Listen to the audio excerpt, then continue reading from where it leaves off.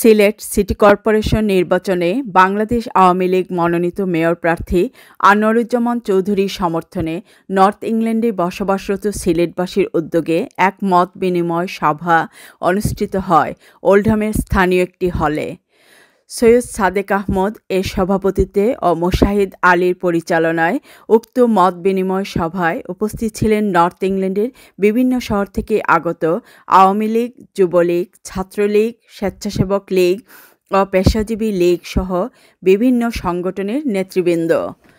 সভায় বক্তারা প্রবাসী অধ্যুষিত সিলেটে প্রবাসী বাঙালিদের সুযোগ্য প্রতিনিধি আনোয়ারুজ্জামান চৌধুরীকে মেয়র প্রার্থী হিসেবে মনোনয়ন দেওয়ায় প্রধানমন্ত্রী শেখ হাসিনার প্রতি ধন্যবাদ জানিয়ে তার দূরদর্শিতার ভূয়সী প্রশংসা করেন এবং যে কোনো মূল্যে নৌকার প্রার্থীকে বিজয়ী করে প্রাকৃতিক সৌন্দর্যের লীলাভূমি ও আধ্যাত্মিক নগরী সিলেটকে স্মার্ট নগরী হিসেবে রূপান্তর করার দৃঢ় প্রত্যয় ব্যক্ত করেন।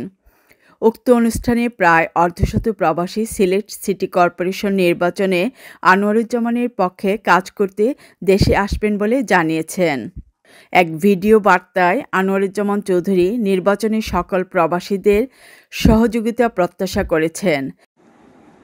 নর্থ ইংল্যান্ডে বসবাসরত প্রবাসী বাঙালিদের উদ্যোগে আজকে সিলেটের সিটি কর্পোরেশন নির্বাচন নিয়ে একটি মত বিনিময় সভা, যেখানে আমাকে নিয়ে আলোচনা হচ্ছে আমি অত্যন্ত অভিভূত এবং আনন্দিত যে আমাদের যুক্তরাজ্যে, নর্থ ইংল্যান্ডে বসবাসরত আমাদের এনআরবিজরা এখানে যে আলোচনা সভা করছেন এই জন্য আমি গর্বিত এবং আমি সবাইকে শুভেচ্ছা জানাই যে আমার শরীর আমার পরিচিত বন্ধু বান্ধব দীর্ঘদিন আমি লন্ডনে ছিলাম এবং সেখানে আপনাদের সাথে কাজ করেছি।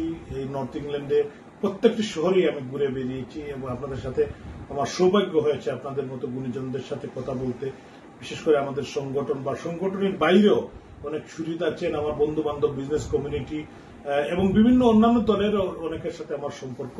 তো সবাইকে আমি আমার ব্যক্তিগত পক্ষ থেকে, আমার পরিবারের পক্ষ থেকে কৃতজ্ঞতা জানাই যে আপনারা আমাকে যে আপন করে নিয়েছেন বা আপনারা আমার জন্য গভীর রাতে এখানে একটি মত বিনিময় সভার আয়োজন করেছেন। আপনাদের সহযোগিতা চাই। মহান আল্লাহ তালার কাছে প্রার্থনা করি আপনাদের সবার পরিবার নিয়ে আপনারা সুস্থ থাকেন, ভালো থাকেন। এবং আগামী যে একুশে জুন সিলেট যে সিটি কর্পোরেশন নির্বাচন হবে, সেই নির্বাচনে আপনারা আসবেন এবং সিলেটে মানুষের কাছে আমার জন্য, নৌকার জন্য, মাননীয় প্রধানমন্ত্রী শেখ হাসিনার প্রার্থী জন্য আপনারা বুট চাবেন। এবং আমি আপনাদেরকে বিশেষ অনুরোধ করি, যারা আসতে পারবেন না, কোনো অসুবিধা নাই, আপনারা আমার জন্য দোয়া করবেন এবং সেখানে বসে আপনাদের বন্ধু বান্ধব আত্মীয় স্বজন এবং সিলেটের প্রত্যেকটি নাগরিকের কাছে আপনাদের কানেক্টিভিটি আছে, আপনাদের অনেক কানেকশন আছে আপনারা সেখান থেকেও ফোনের মাধ্যমে কথা বলতে পারেন, এটা আমার জন্য বিশাল উপকার আসবে। আপনারা আমার জন্য দোয়া করবেন যাতে আপনাদের দীর্ঘদিন আপনাদের একজন সহযোদ্ধা হিসাবে সুরিদ হিসাবে আমি ইংল্যান্ডে কাজ করেছি, এখন সিলেট সিটি কর্পোরেশনের আগামী নির্বাচন করব। যদি আল্লাহ তালা আমাকে জয়লাভ করান, তাহলে এই প্রবাসীদের বিভিন্ন সমস্যা নিয়ে দাবি দাবা নিয়ে আমি কাজ করব।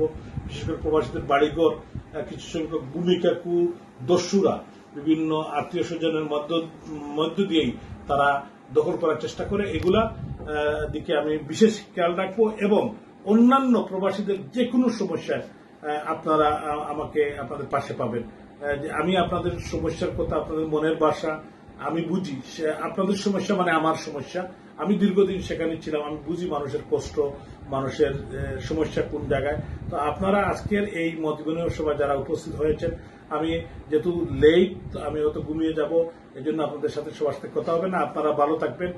সভাপতি এবং সাধারণ সম্পাদক যিনি সভাপতিত্ব করবেন, যিনি পরিচালনা করবেন সহ অন্যান্য যারা নেতৃবৃন্দ আছেন, সবাইকে আমার ব্যক্তিগত সালাম, শুভেচ্ছা জানাবেন। এখন আপনারা ভালো থাকবেন, সুস্থ থাকবেন। আসসালামু আলাইকুম, জয় বাংলা জয় বঙ্গবন্ধু, জয় শেখ হাসিনা। এবং সিলেটি প্রবাসীদের বিভিন্ন সমস্যা সমাধানে তিনি কাজ করবেন বলে জানান। গ্রেটার ম্যানচেস্টার থেকে সাবিনা ইয়াসমিন, ফকাস টিভি।